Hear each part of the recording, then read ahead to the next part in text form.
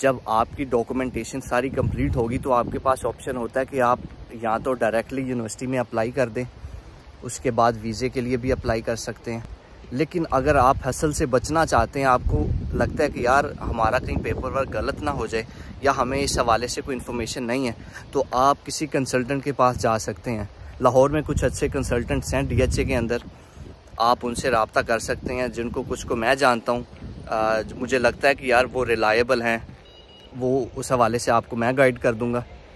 तो आप अपना पहले पेपर वर्क खुद करें, अपनी रिसर्चिंग खुद करें, उसके बाद कंसल्टेंट के पास जाएँ, ताकि आपको पता होगा कि यार ये यूनिवर्सिटी में मुझे जाने का ये फ़ायदा है, इस कंट्री में जाने का ये फ़ायदा है। अगर आपने उसके अंदर पढ़ाई करनी है, कल को सेटलमेंट का प्लान है आपका, आपके पास ये ये ऑप्शन हैं।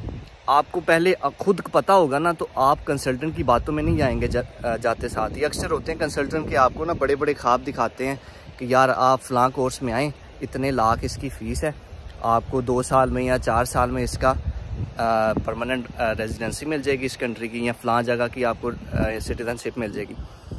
आपको सम टाइम झूठ भी बोल देते हैं वो। तो आप अगर अपनी रिसर्चिंग खुद करके जाएँगे तो आप उनकी बातों में डायरेक्ट नहीं आएँगे या किसी के झांसे में नहीं आएँगे। आपको पता होगा कि यार फ़लाँ कंट्री जो है ना, इसके अंदर क्राइटेरिया वीज़े का ये है सेटलमेंट का ये है इंडेफिनेट स्टे का ये है। तो आप जाके अपनी पहले खुद रिसर्चिंग करें, उसके बाद उन कंसल्टेंट के पास जाएँ, उनसे गाइडेंस लें। अक्सर बंदों का जेन होता है कि यार 40 से 50 लाख हमें तो कंसल्टेंट को देना पड़ेगा, उसके बाद हमें जो पढ़ाई के लिए है, वो सेपरेट पैसे चाहिए। तो ये ऐसी बात नहीं है। कंसल्टेंट कुछ जो है ना अच्छे, उनका डायरेक्ट यूनिवर्सिटी के साथ लिंक होता है। उन्होंने आपको एडमिशन लेके देना होता है, आपका सारा पेपर वर्क कंप्लीट करवाना होता है। अपने जो नॉमिनल से उनके चार्जेस हैं, वो लेने हैं। बाकी जो मेजर फ़ीस है उनकी, वो डायरेक्टली उनको यूनिवर्सिटी से एज ए कमीशन शायद मिल जाएगी।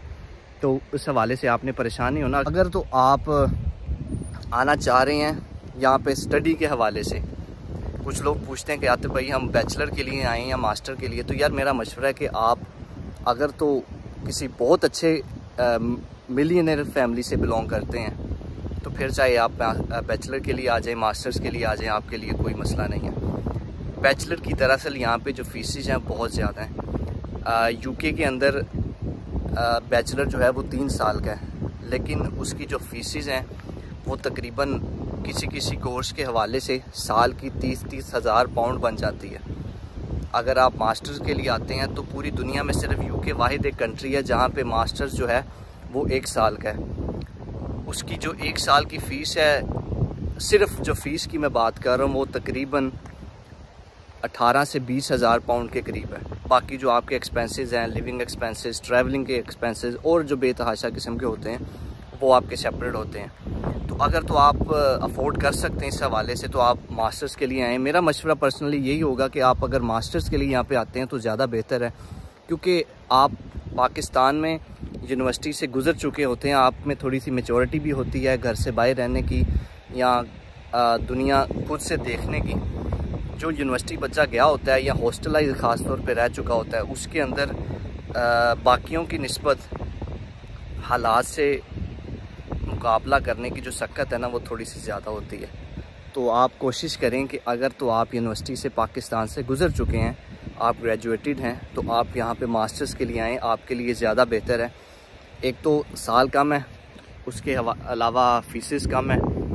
अफोर्डेबिलिटी आपके पास अपनी ऑप्शन है कि आप अफोर्ड कर सकते हैं या नहीं कर सकते।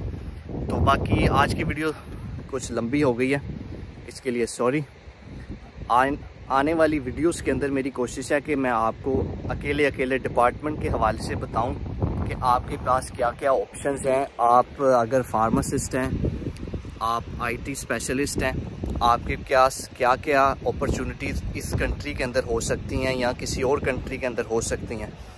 अगर कोई फार्मासिस्ट है तो वो अगर यूके में आना चाह रहा है तो क्या उसके लिए क्या ऑप्शंस है? वो किस तरीके से अप्लाई कर सकता है? क्या क्या कोर्सेज के अंदर वो आ सकता है और बाद में सेटलमेंट का जो ऑप्शन है, अगर कोई सेटलमेंट यहाँ पे लेना चाह रहा है तो वो कैसे ले सकता है? तो उस हवाले से मैं आपको ज़रूर गाइड करूँगा। आज की वीडियो सिर्फ़ इतनी थी।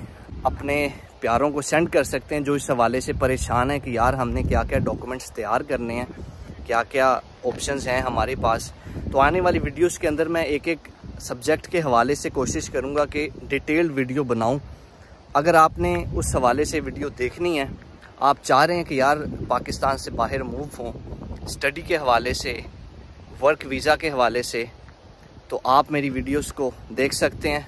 वीडियो सबसे पहले देखने के लिए चैनल को आप सब्सक्राइब कर सकते हैं। अगर आज की वीडियो अच्छी लगी हो कमेंट्स के अंदर ज़रूर बताइएगा, अपना बहुत सारा ख्याल रखिएगा। अगली वीडियो तक के लिए आतिफ अली को इजाज़त दीजिए। असलकम